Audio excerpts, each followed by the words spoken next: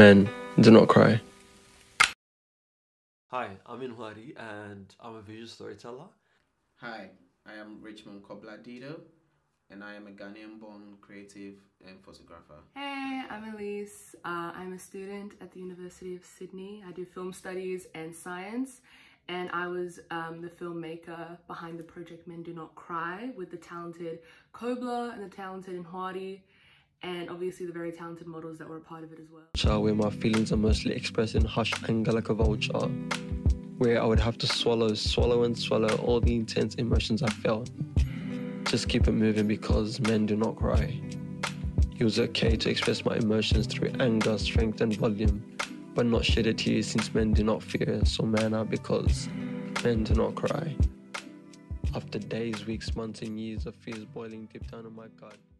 Storytelling actually means to me is having the passion to communicate my thoughts with other people and telling the stories that I want to tell the most and having other people to actually understand what I want to express.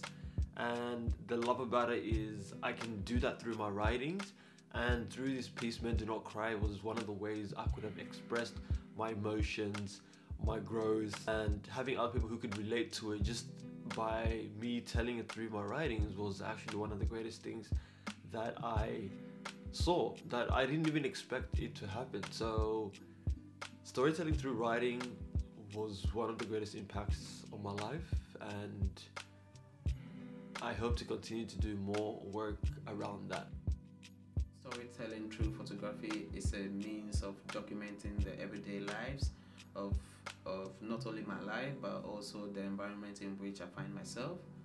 I also find it as a means of documenting um, the struggles and um, and also as a means to communicate my ideas with the rest of the world. The project was definitely a labor of love for all three of us. Um, obviously it being a written photography based and film based project it brought together a lot of different disciplines and what seemed to feel like something that wouldn't work cohesively together actually came together almost flawlessly and the film and the photos and the words behind this project are definitely very potent and very visceral right now. In the Men Do Not Cry um, series was one of um, deep emotions and um, being able to connect with so many different brothers all in one space, fighting for one common um, vision. Just the experience of being there in, uh, on the day and witnessing the joy and um, the togetherness that we managed to show was such a unique and definitely I won't be forgetting that kind of experience. So the main mood for the series was based around emotion. Um, I'm pretty sure um, my mood board is still titled Emotion because um, I just wanted to channel the different emotions which, um, you know, as black men or black boys, like we're not really known or, or it's not shouted about enough. So um, yeah, I just wanted to be able to channel the different kind of emotions um, through photography and also to to communicate that idea of, of brotherhood um, through through the images that are captured. The overall mood of the film was inspired by Kobla's direction, his work with color and his work with like props and shapes was super inspiring. Like I said, I was just an observer that was just so grateful to just be a part of something that was happening it's definitely a lot less pressure when you're watching a creator create and you get to capture them doing that. It's very different than creating something for yourself. Um, so it was definitely so amazing to see him work in his space and do his thing and all the other men that were coming together to model was just really inspiring to see. Whatever they were doing, whatever had happened that day, I was just there to be a capturer of the kind of, I don't know, the outside perspective of that. Um, and what came together in my video was, you know, a very visceral, like outsider view of what they were doing. I would personally like to thank everyone who supported um, the movement and um, supported the um, the Men Do Not Cry series. It's, it's been one of the, um, the most successful works in, in which I've been a part of, and um, yeah, it's it's a, it's a real honor to be able to see the kind of reach with with, with which um, this work has has gathered. Um, I do appreciate all the support and hope to be able to continue to tell our story.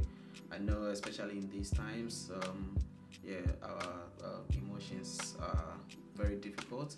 Um, not only with, with the pandemic um, going going around, but also the the issues that have that have risen up has kind of stirred a lot of deep deep lying emotions in us, and um, just to be able to to continue to to encourage the conversation that it's okay um, for us to show our emotion. It's okay for us to not hold back.